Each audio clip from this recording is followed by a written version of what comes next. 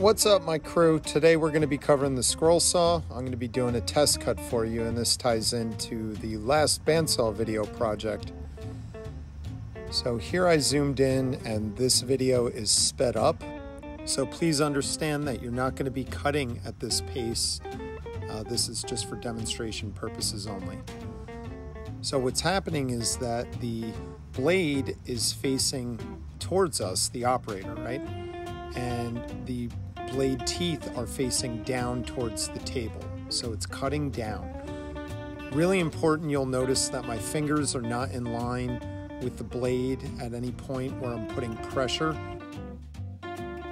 Okay, so we don't want any pressure from your fingers pushing in towards the blade. We don't want to accidentally slip off the stock and have our finger nick the blade. So now here at the minute mark, I'll be showing you real time. So now in this real-time edit, you could see that the blade is oscillating up and down much faster, but you could see that my cutting is actually a much slower feed rate. So I hope that helps. Uh, you can apply this to the pig project on the bandsaw. I hope you enjoyed, and we'll catch up soon.